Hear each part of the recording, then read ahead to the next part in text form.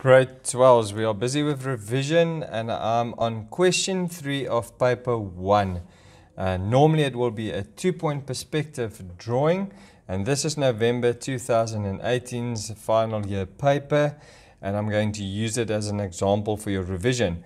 So you are going to read the question and if you read it you'll see that they've given you two completed views and over here they've given you an incompleted view. The picture plane has been given, horizontal line, the ground line, and then the standpoint just below the ground or the station point just below the ground line. Right, so these lines can obviously differ from question to question. They can be positioned at different places. So this is just an example paper. Um, so the instructions are obviously are to complete the perspective drawing. Make sure that your paper is aligned with the ground line. So if this is skew, then your uh, picture won't line up with the memo and that can cause problems. Second point is to determine and label the vanishing points and then show internal lines seen through the doorway. Show all construction and then no hidden detail is required. I'm going to start off here with a couple of things. So the first thing is to look at our constructions which actually count six marks. So to get those construction points you need to first step is to see at what angle is the top view. Now normally a top view will be at 30 degrees and 60 degrees. That's most of the cases. But in this case, it was um, at an angle of 45 and 45 to the right. So therefore, we are going to use our 45 degree set square to determine our vanishing points. Now, to determine the vanishing points, we are going to start here at the station point. You're going to place your 45 degree set square on the center there of the station point you're going to draw a 45 degree line.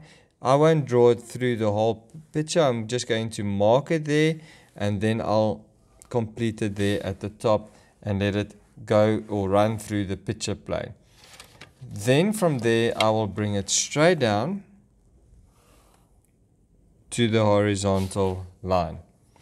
Okay, so the same will go for the left because this is 45 degrees to the left as well. I'm going to draw a 45 degree line to the picture plane and then from there I'm going to bring it straight down and mark it on the horizontal line. Now you can see that I've highlighted that point over there because those are my vanishing points. So very important now is the labeling of the vanishing points. There's only one way to label it. So this is called the left vanishing point and therefore we are going to write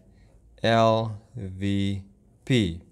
On this side, it's the right vanishing point, and therefore it will be RVP, right vanishing point, left vanishing point. Do not say vanishing point 1, vanishing point 2. Also keep it in capital letters and write it horizontal. There are penalties okay, if you didn't label it correctly. The next point you can get for construction is by showing your knowledge. And your knowledge tells you that all points from this top view must go to the standpoint. So by drawing a construction line over there, you actually get a mark. By bringing it from the picture plane straight down, you will get another mark. Any point that touches the the picture plane and is actually on the ground will touch the ground line. So I'm going to bring that point down to the ground line. Now to draw our perspective drawing, starting from the ground line, like I said, anything that touches the ground line, from the ground line has to go to the left vanishing point and to the right vanishing point. So this here gives us our construction points. The next thing I see on my paper over here without drawing the picture is that I see a circle. Now when I have a circle, I know that with most cases when I see a circle, it has to be divided into 30, 60 degrees. So what I'm going to do is I'm going to use my 45 degree set square. I'm going to place my 30 degree set square on top of that. And from the center of the circle, I'm actually going to draw in the constructions over here. So there's my 30 degree line. Let's turn this around. There's my 60 degree line to the circle there. And then I'm just going to take this ruler away. I'll hold down my 45 and then I'm going to draw my 30 degree line towards that direction and then again the 60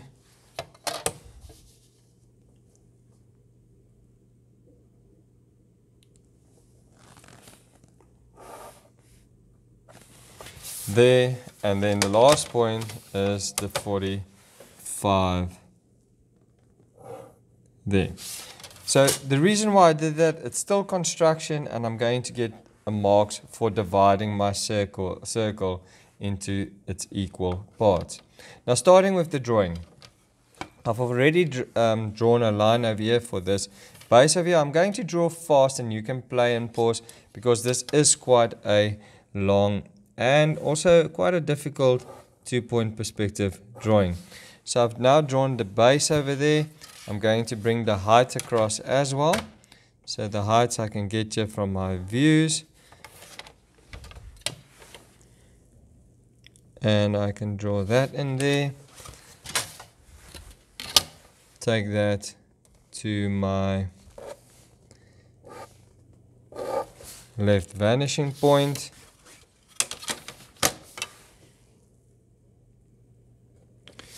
draw that in there and then this height can also go to the right vanishing point that there can go to the right vanishing point and these are all construction lines. Right. So the next thing I want to see is these high it's like pillars or walls that go up. And I'm going to take that to the standpoint. And on the far side Take that to the standpoint. And then bring it down.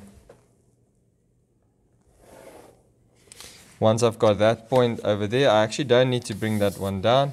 I can just take this one across to the vanishing point, left vanishing point over there.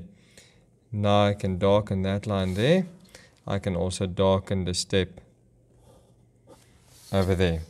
Now the thickness of those walls, let's quickly draw that in as well. To the standpoint.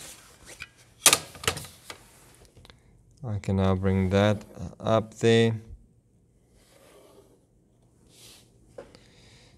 As well as this one over here, bring it down. And that will give me the thickness of the walls. Okay, so height is a problem for some people. So to get the height here,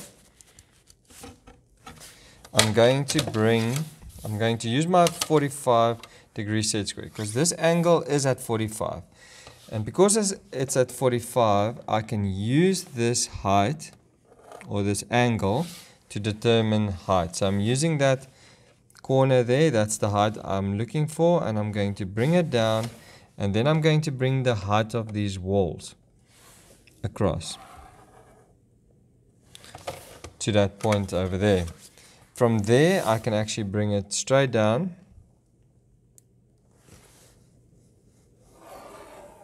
To my left vanishing point, and this will give me the height for this front corner of the wall.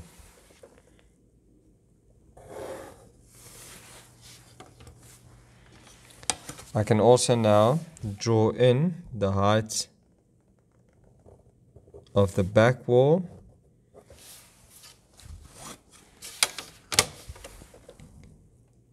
and bring that straight down straight down straight down okay so this that's my walls over there so the next thing over here is to determine another height, I'm just quickly going to show you the roof height quickly and then we'll skip on to the circle before we have too many lines. So I'm going to bring the roof height. So that's the height or the roof that I want to find is that top point over there. I'm going to bring this across or down.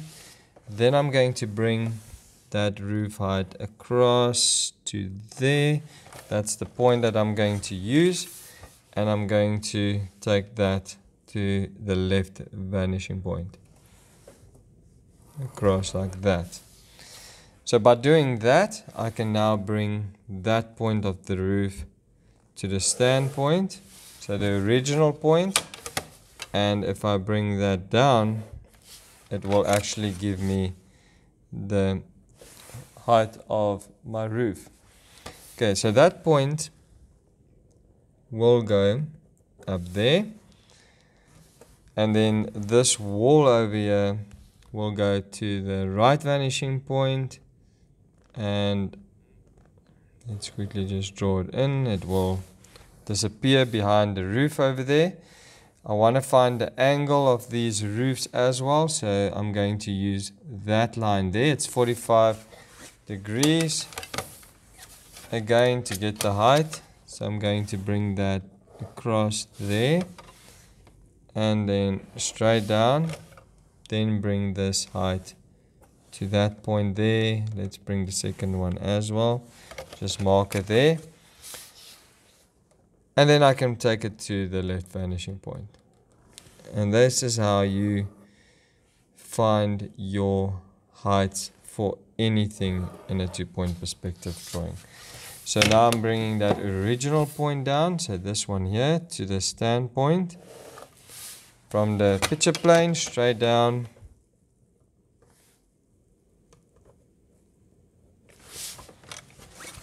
And that gives me the angle of my roof.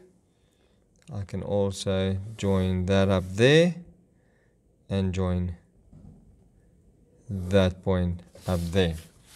Right, so that's, uh, that's then the roof that's been drawn over there. And now I'm going to focus quickly on our circle before we get too confused. Like I said, I am trying to draw quite fast, so you can just play and pause.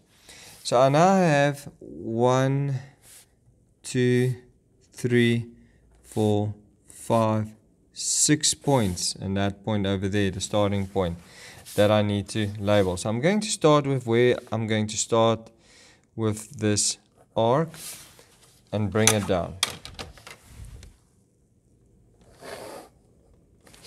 And I'm going to mark it on this line here. I also know that the one below it or the bottom line okay we'll also start there. Right, so now I'm going to take all these points and take it back against a surface that I know I have or a height that I know I have. Okay, meaning that on this line over here, I'm going to mark each point of this arc. So ek begin daar, bring that point down. That's the first one. Let's bring the second one down as well to the standing point the middle one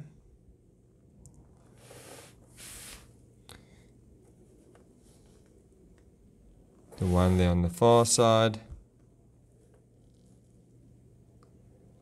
and that one and the last one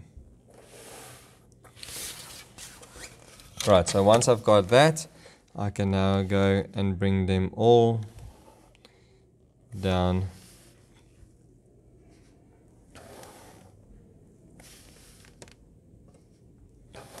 onto that surface.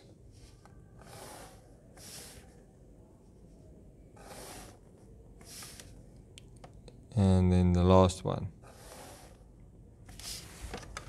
Right, so by doing that, I can use those points and bring them forward. So that one there will stay there. This one will then go forward from the left vanishing point so from the left vanishing point, I'm going to do that for each of these.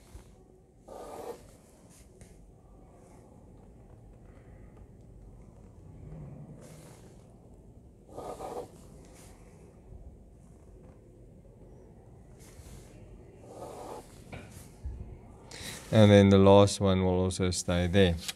So now that I've got all these lines, that's construction lines, I'm going to go back to these original points and I'm going to bring them down to our station point. So there we go, station point, and then bring it down to that first line and I'm going to mark it there. Second one, also to the station point.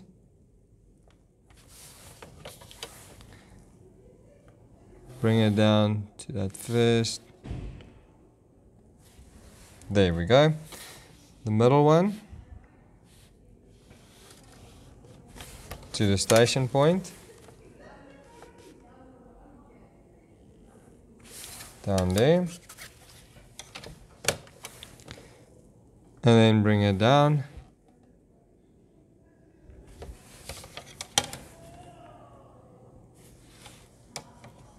The next point is that one there.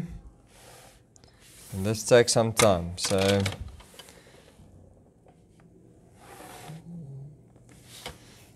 mark that one there. The last one.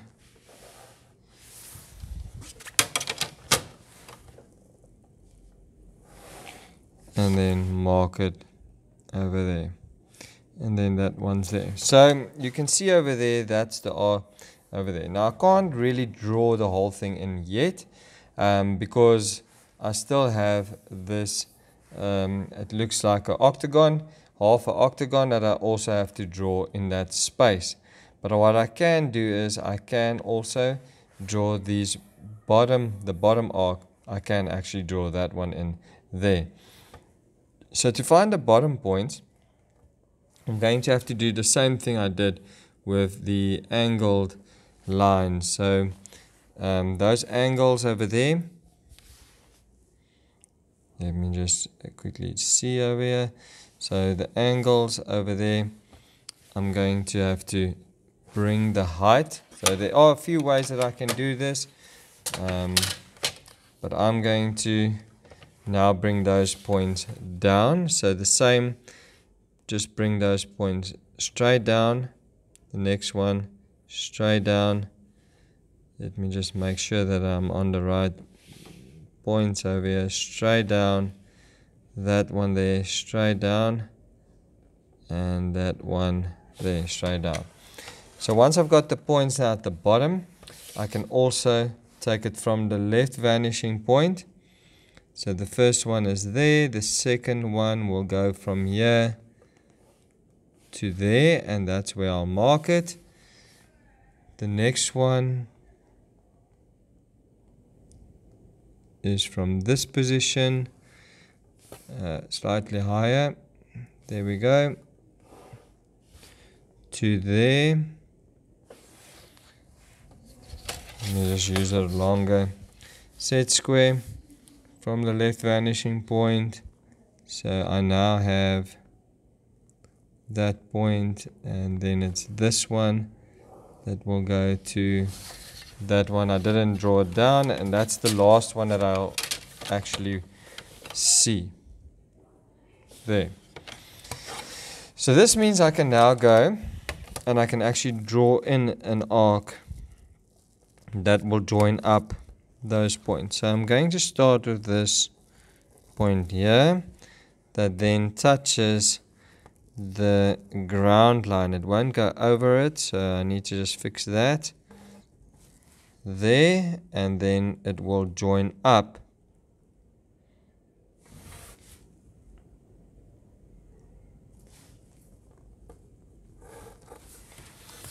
there. Right, and then I can actually join up these ones as well. So let's just start there by drawing that in there. Bringing that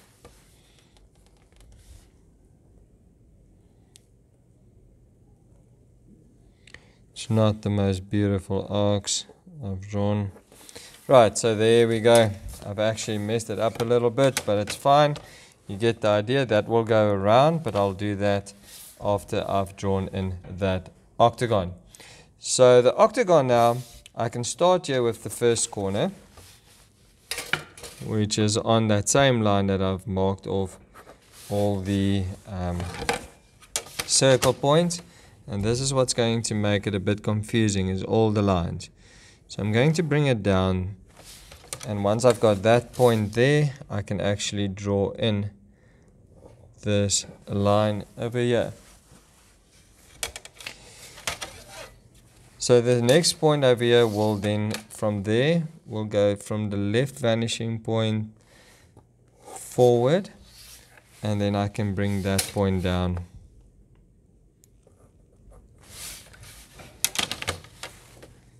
and from there down to that point over there. So this will give me the first side. Now I need to determine the height of this um, half an octagon. So I'm going to bring that forward and then bring this down.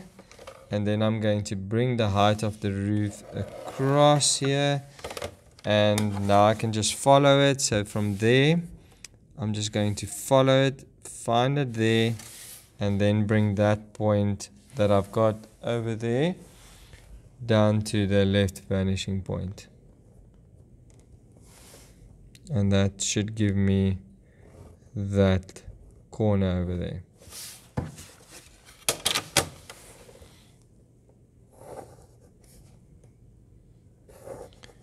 So that's the first side of the octagon.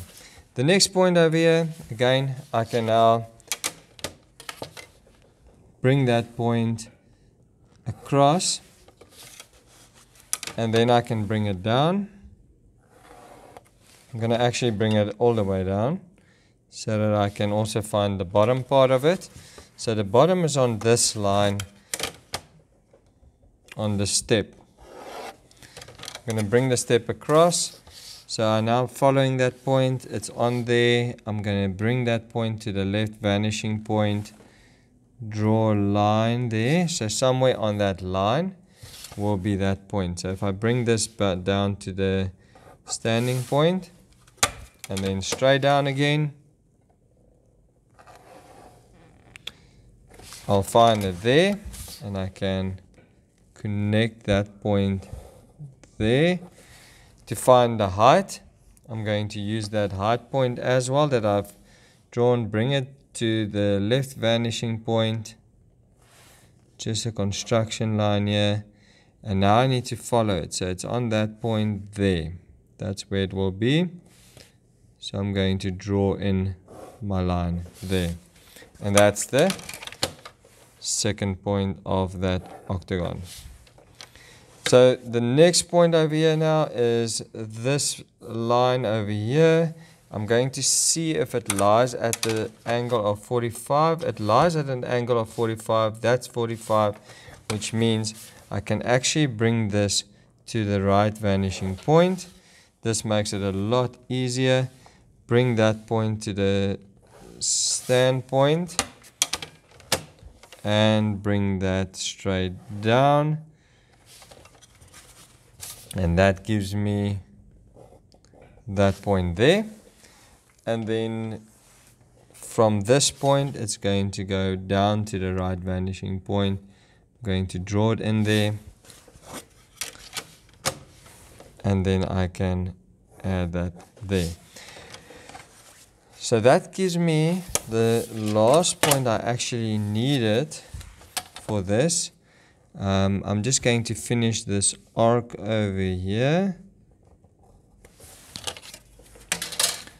And a few finishing touches here at the bottom. There we go. And that line over there. Right so still a lot to do over here with this drawing. I'm now going to determine the top point of this roof now I've got the roof height over here. It's the one that I brought across here. It's already gone to the uh, left vanishing point and I now just need to bring that point down to my and I'm going to use that point. I see it is there so I'm bringing it down and it should lie on that position over there. Right, so once I've got that, I can now join up all these corners.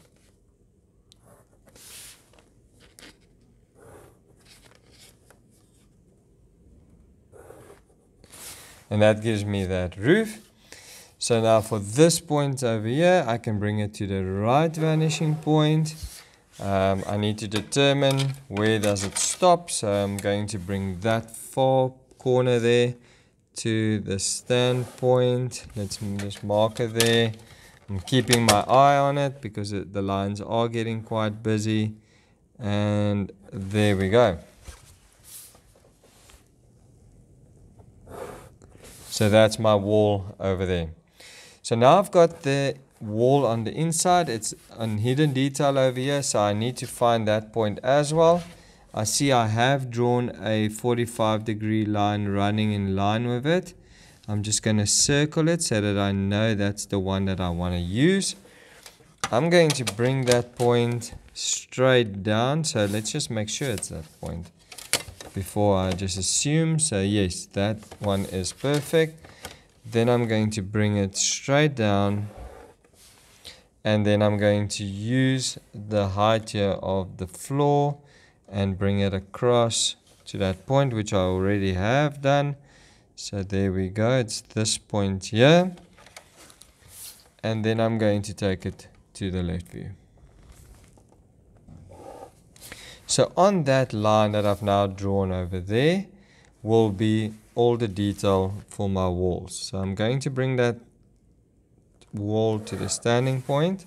I'm also going to bring the doors down. So there's the door inside of the opening there another opening there and then I'm going to bring all those lines down.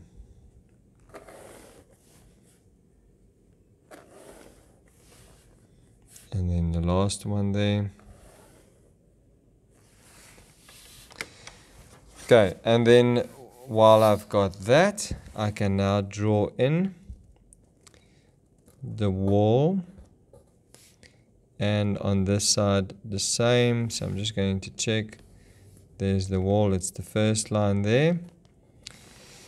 This over here will go to the right vanishing point to give me that opening there. So now I need to determine the height of this door opening Again, I'm going to use the same line that I've got over here. And then I'm going to bring the door opening across to that point. So I'm just going to mark it there. From that point, I can bring it down to the left vanishing point. And I'm going to actually draw it in.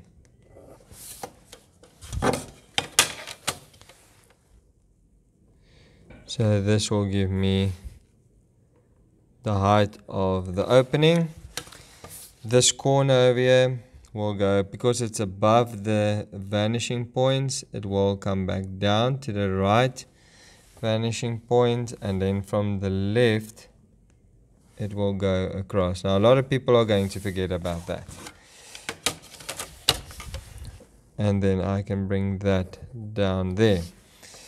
So now with the roof, the roof is also higher than um, the vanishing point. So I need to bring this roof down to that point over there. And then from there, I can draw the thickness of that ceiling. And then I can add that. So that, that's my outer structure finish. So the Next point over here is to draw the wall or the floor wall running on the inside. So the best way for me now to do it as fast as possible is to draw a corner there and bring the inside of that wall down to the standing point and from there let's just follow it again from there back down to there and then I'm going to bring that across there. So there we go. This is the answer and I hope actually that it's a long drawing, that I've showed you some technique. It's not the neatest that I've drawn it, but I'm sure if you focus on the circles and how to do the circles, find the heights of uh, different roof structures, um, determine your vanishing points in the correct way, then you should succeed in a two-point perspective drawing. Good luck.